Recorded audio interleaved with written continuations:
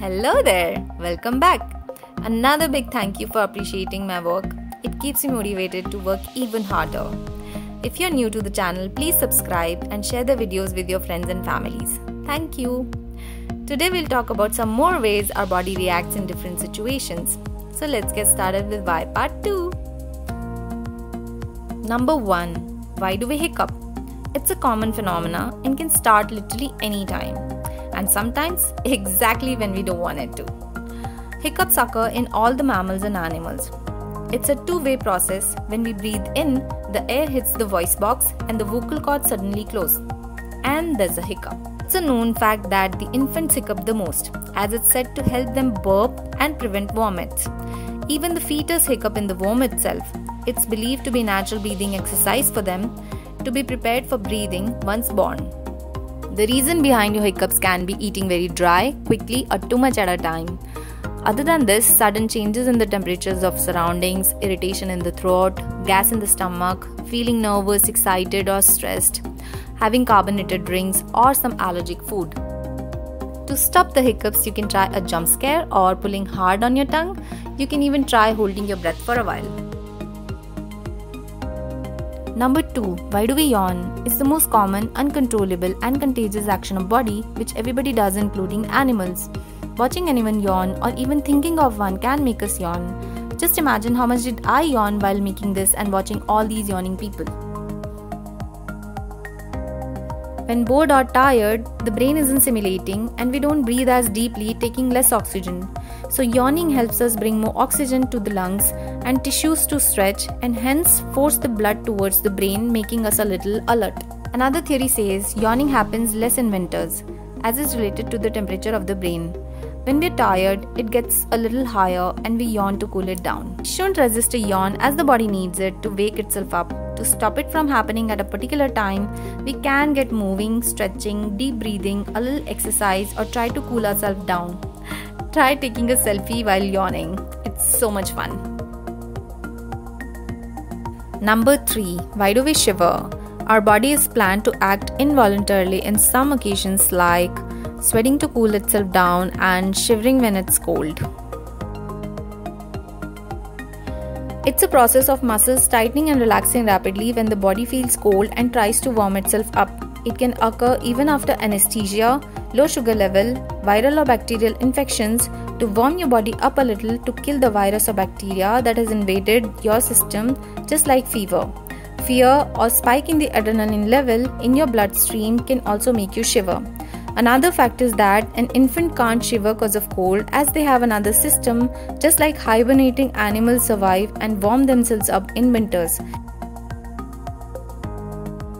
Number 4. Why do we itch? A woman had such an itchy head that she scratched through her brain. It's a general sensation arising from the irritation of skin cells. It can be really irritating and annoying at the same time. Skin is the only part of body which feels both pain and itch. Itching is a skin sensation which can be caused by both outer or inner reasons like allergies or skin irritations cause of certain kinds of clothes, dry skin, reaction of something, sunburn or insect bite, etc. The pain from scratching makes the body release the pain fighting chemical serotonin, which can make the skin even itchier, and this is the reason why we feel scratchier when we itch and itchier when we scratch. Whatever it may be, it's really important for us not to scratch too much, as it can make us feel anxious, stressed, and is harmful for the skin as well. Never use the fingernails. Instead, rub, pat, tap, or tightly hold the itchy skin or very gently pinch. Be careful of what you eat and wear and save yourself from sharp sun rays. Take care of your skin, keep it moisture, and you can even take a quick shower. Number 5. Why do we sleepwalk and talk? We've either seen someone or done that ourselves. Generally, kids go around walking in sleep. They can even roam around room to room just to find themselves in an entirely different room when they wake up. People can talk without making sense. I remember my brother throwing balls and solving maths problem in his sleep. It can be a genetic disorder, usually happens when a person is going from a deep sleep to a lighter one, or when someone has a chaotic sleep schedule, noisy or uncomfortable sleep environment, or they're stressed, drunk, overly tired, or sleep deprived. Very common in children between 4 to 12 years, but adult sleepwalking can be a sign of poor mental condition. Many people can talk, sit up in bed and repeat a motion, urinate anywhere, or walk up to kitchen and snack. Changing the lifestyle, sticking to a sleep schedule, relaxing bedtime routine, and stop or restrict alcohol or drugs can help big time. If you have sleepwalkers around you, it's very important to create safe environment like lock the doors and windows, move the sharp objects, install gates at the top of the stairs, move any unsafe stuff cause they can eat or drink anything which can be really dangerous. If you like the content, please subscribe and hit the bell icon to get notified when the next video is out. Thank you. Number 6. Why do we snore? Snoring is a household problem. It's irritating and annoying and extremely embarrassing while traveling. It's been one of the biggest reasons for divorce all over the world. As shown in the picture, during sleep, gravity and muscle relaxation allows the tongue and surrounding soft tissues to fall back into the throat area, obstructing airflow. Extra fats around the neck or shape of the nose and jaws can also be a reason. Other than this, smoking, drinking alcohol, being overweight, seasonal allergies, sinus congestions, respiratory infections, food allergies, eating too close to bedtime, chronic mouth breathing, or certain medication can also be the By using a pillow of different shape and keeping yourself hydrated can help. There are many small tools available in the market nowadays to prevent snoring, but personally, I won't suggest any of them as many studies have shown that they don't really work. Instead, try some home remedies like using honey, cinnamon, lavender, garlic, mint tea, milk with turmeric, almonds. Try to have an open nasal passage and try losing some weight and maintain hygiene. Changing the sleeping position will definitely work. Sleeping on your back can worsen the snoring as the jaw recedes and the tongue compresses the upper airway. So, sleeping on the side is the best option as it reduces the compression. Sleeping upside down can do wonders as well if you can do without a pillow, as otherwise the posture may cause back pain. Number 7. Why do we have wisdom teeth?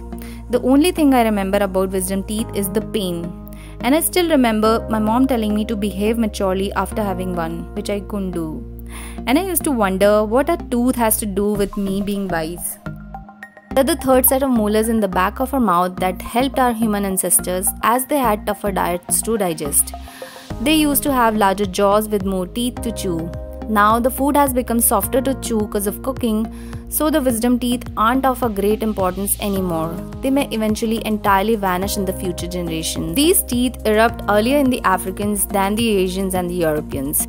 Mostly they come in the age of 17 to 21, which is also in general the age when a person matures, and so they are called the wisdom teeth. But if they don't, then they come later on in your 80s. Some people can have all four, and some don't have any at all pain a lot as they break through the gum. It's not at all compulsory to remove them until they grow at a wrong position, causing decay, cavity, or gum disease as there is a lack of space between them. Number 8. Why are we colorblind? Can you recognize all the colors and differentiate between all their shades? Being colorblind is an extremely common trait. There are many online tests. Take one and see for yourself. It's a genetic condition you're born with. It's caused by a difference in how your light sensitive cells called cones respond to certain colors. They actually sense the wavelengths of light and help the person distinguish between colors. This difference in sensitivity in one or more cones can make a person colorblind. You know you are colorblind when you can't differentiate between colors or you can't see the tints and tones of a color. More than 300 million people in the world are colorblind. Colorblind colorblindness is more common in men than women. All babies are born colorblind they develop the color vision in 6 months. It's possible to be colorblind in one eye and have normal vision in the other eye. Number 9. Why do we dream? Everyone dreams. They can be exciting, irritating, scary, inspiring, creative, romantic, or sometimes totally annoying. Dreams are the stories and images that our brain creates while sleeping. They reflect unconscious mental functions. They may also be the representation of our unconscious desires or wishes. What goes through the mind just before we sleep, or the thoughts which have been there in the mind for the whole day, can influence the dreams. Lucid dreaming is when the dreamer is aware that they're dreaming. Nightmares are distressing dreams causing the dreamer to feel emotions of fear and anxiety.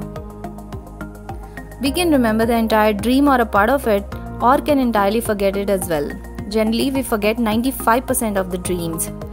Factually, blind people dream more. Number 10. Why does the skin shrink in water? The best thing in summers is being at the beach or in the pool or water park with friends. But then the skin gets wrinkly only in like few minutes. As a child, I used to think water destroyed my skin. Some people think that it happens because of pores of skin absorb water and so it looks soggy. Another theory says it's because of osmosis as water moves in and out of the skin cells, making it look wrinkly. Unlike the rest of our body, the palms, fingertips, soles, and toes have a skin known as the glabrous skin, which has unique response to being in water as they get wrinkles for a better grip. Some believe that the wrinkles act like the rain treads, which channel the water away from the fingers and toes during wet conditions for a better grip, like tiny manual river drainage system. In simple words, the body doesn't want to leave its grip because of being in water, so the brain signals the skin to change itself from smooth to wrinkly. It becomes normal as soon as it's out of water. If you like the video, please subscribe and watch more informative videos which are coming up soon and there are already few available on my channel.